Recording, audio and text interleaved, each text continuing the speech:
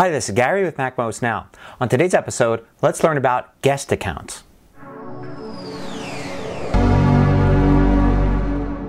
So guest accounts are a great way to allow a friend or perhaps one of your kids to use your Mac without having to worry about them messing with your documents or your settings.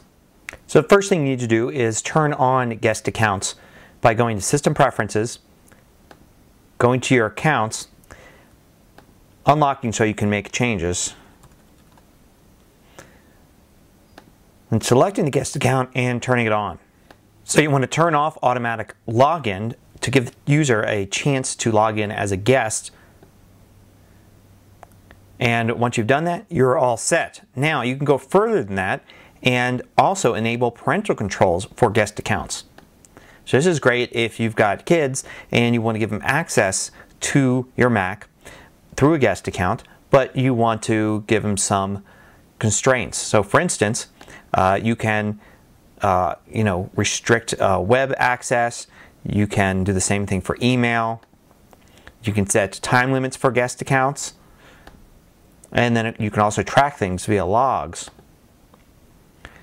So one of the things you can do here also is turn on the Simple Finder. And this uh, basically creates a very easy way to launch and run applications that might be better for people that uh, haven't used Macs before or perhaps kids that aren't familiar with the full interface yet. You can also simply turn on and off selected applications as much as you want. So for instance, you can turn off iChat if you like. Another thing you could do is to go to login options and enable fast user switching. This allows you then to use this menu up here and switch to a guest account while remaining logged into your current account, they can't get back to your current account without entering a password. But this does allow you to quickly switch over. Now when you're in the guest account, everything is new and fresh. There's no bookmarks in Safari, Mail doesn't have any accounts set for it, there are no documents at all. And you can create all sorts of documents, do all sorts of things, but when you log out of the account, it all gets deleted. One way you can save files, say if you have one of your children playing in a guest account and they create some sort of masterpiece in a painting program, they can actually save that to the shared folder, which is in the users folder. And when they log out of the guest account, things that are in the shared folder will remain there.